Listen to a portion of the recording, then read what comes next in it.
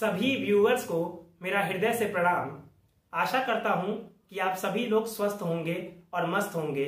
मेरा नाम है लवकुश मिश्रा और मैं आपको एसएसटी पढ़ाता हूँ।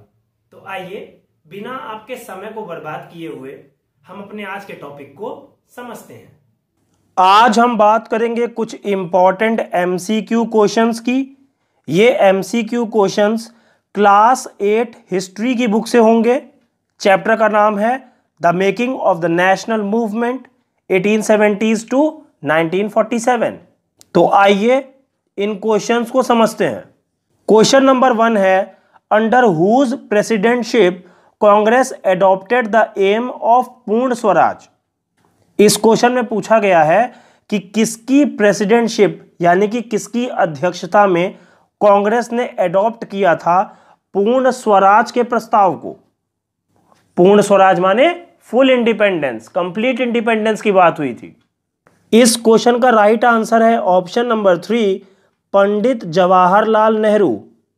देखिए, पंडित जवाहरलाल नेहरू की अध्यक्षता में 1929 में पारित किया गया था यह प्रस्ताव, जो कि पूर्ण स्वराज का प्रस्ताव था।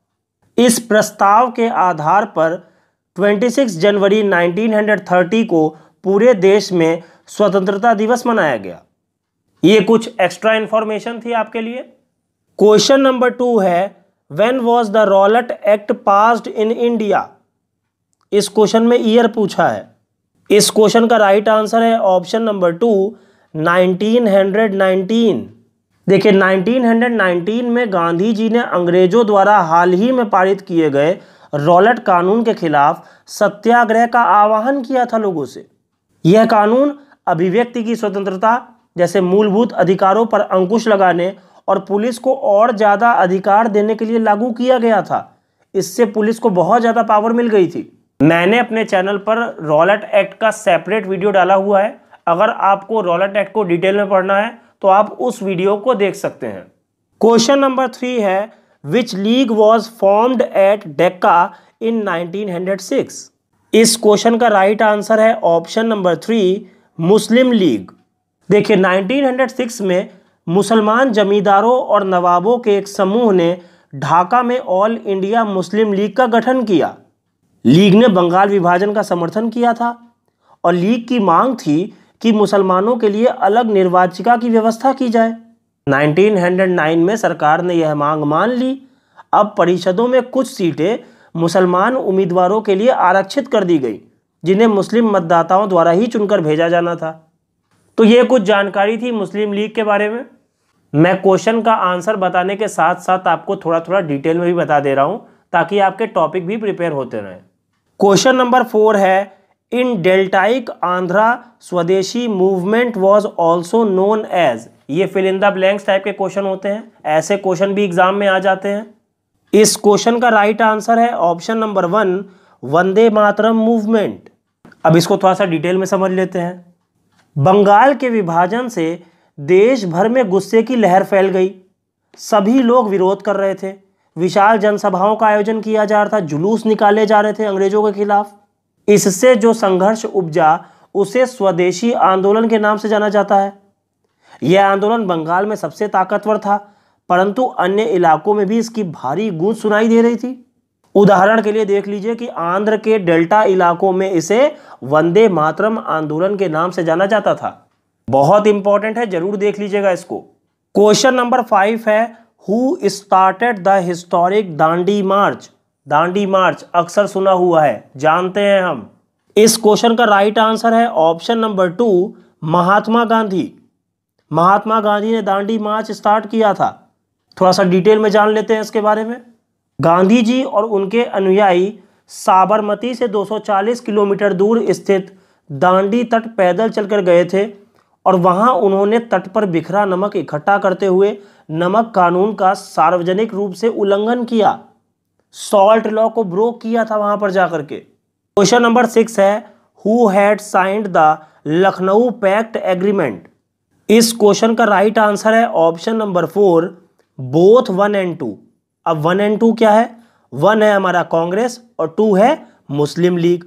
कांग्रेस और मुस्लिम लीग के बीच में ये लखनऊ समझौता हुआ था। लखनऊ पैक्ट एग्रीमेंट हुआ था। इन दोनों ही संगठनों ने देश में प्रातिनिधिक सरकार के गठन के लिए मिलकर काम करने का फैसला लिया था। एक गवर्नमेंट बनानी थी इनको। क्वेश्चन नंबर सेवन है when did the Mahatma Gandhi broke salt law अब पूछ रहे हैं कि महात्मा गांधी ने कब सॉल्ट लॉ को तोड़ा था? इस क्वेश्चन का राइट आंसर है option number three six April 1930 छह अप्रैल 1930 को महात्मा गांधी ने एक कानून तोड़ा था। आपकी बुक में इमेज भी बनी हुई है। उसमें महात्मा गांधी को दिखाया गया है नमक कानूनों को तोड़ते हुए। क्वेश्चन नंबर एट है हु इस्टेब्लिश्ड नेटाल कांग्रेस अब इस क्वेश्चन में पूछा गया है कि नेटाल कांग्रेस को किसने स्टैब्लिश किया था? इस क्वेश्चन का राइट आंसर है option number one Mahatma Gandhi. 1895 में अन्य भारतीयों के साथ महात्मा गांधी ने नस्ली भेदभाव का विरोध करने के लिए नटाल कांग्रेस का गठन किया था। क्वेश्चन नंबर नाइन है, Ilbert Bill was introduced in which year इस क्वेश्चन में पूछा जा रहा है कि इल्बर्ट बिल को किस ईयर में इंट्रोड्यूस किया गया था? इस क्वेश्चन का राइट आंसर है ऑप्शन नंबर थ्री 1883 अब इस बिल के बारे में थोड़ा सा डिटेल में जान लेते हैं। 1883 में सरकार ने इल्बर्ट बिल लागू करने का प्रयास किया। इसको लेकर के काफ़ी हंगामा हुआ। इस विधेयक में प्रावधान किया गया था कि भारतीय न्यायाधीश भी ब्रिटिश या यूरोपीय व्यक्तियों पर मुकदमे चला सकते हैं। ताकि भारत में काम करने वाले अंग्रेज़ और भारतीय न्यायाधीशों के बीच समानता स्थापित की जा सके। जब अंग्रेज़ों के विरोध की वजह से सरकार ने यह विधेयक वापस ले लिया तो भारतीयों ने इस बात का काफ़ी विरोध किया। इस घटना से भारत में अंग्रेज़ों के असली रवैये का पता चलता था। वो कभी नहीं चाहते थे कि भारत में इक्वलिटी स्थापित हो जाए। वो हमेशा डिस्क्रिमिनेशन को प्रमोट करते थे। हमेशा भारत को डिवाइड करना चाहते थे। क्वेश्चन नंबर टेन है in which year Russian revolution happened इस क्वेश्चन में पूछ रहा है कि रूस की क्रांति कब हुई थी? इस क्वेश्चन का राइट आंसर है ऑप्शन नंबर टू 1917 1917 में रूस में क्रांति हुई थी।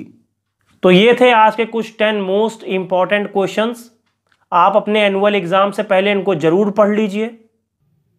उम्मीद करता हूँ कि जितनी भी बातें मैंने आपको इस वीडियो में समझाई हैं, वो सारी की सारी आपको समझ में आ गई होंगी। हमारे चैनल को सब्सक्राइब करिए और नीचे जो बेल आइकन आ रहा है उसको प्रेस कर दीजिए, ताकि हमारे सारे नए वीडियो के नोटिफिकेशंस आपको मिल जाएँ। इस वीडियो को लाइक करिए और अपने दोस्तों के साथ ज़्यादा से ज़्यादा शेयर करिए। इस वीडियो के डिस्क्रिप्शन में हमारे टेलीग्राम चैनल का लिंक है। आप उसको ज्वाइन करके हमारे साथ कनेक्ट हो सकते हैं और हमसे अपने डाउट्स को पूछ सकते हैं। ये वीडियो आपको कैसा लगा? ये आप कमेंट बॉक्स में हमें ज़रूर बताएँ। मैं भगवान जी से हमेशा आपके उज्जवल भविष्य की कामना करता हूँ। इस वीडियो को देखने के लिए बहुत बहुत धन्यवाद। जय हिंद, जय भारत।